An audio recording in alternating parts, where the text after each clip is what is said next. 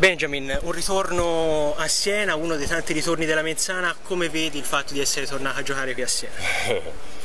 Io sono molto felice, molto contento di essere qui, conosco tutti, eh, sono felice, non aspetto uno, io non aspetto ora di orario di giocare.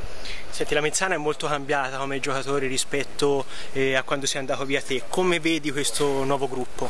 Sì, sì, sì, infatti eh, primo, primo, primo, giorno che ho venuto qui ho detto ma non c'è più nessuno, ma comunque c'è Caraletto, c'è Reso, c'è Lectale, ma abbiamo un buon gruppo secondo me, lavoriamo assieme, poi piano piano abbiamo il livello, livello eh, quello che che come si dice insomma un buon vogliamo ah, sì, okay. sì, sì. e senti te come stai fisicamente perché l'anno scorso non hai giocato però insomma eh, dicono che ti sei allenato duramente eh, te insomma da solo come stai?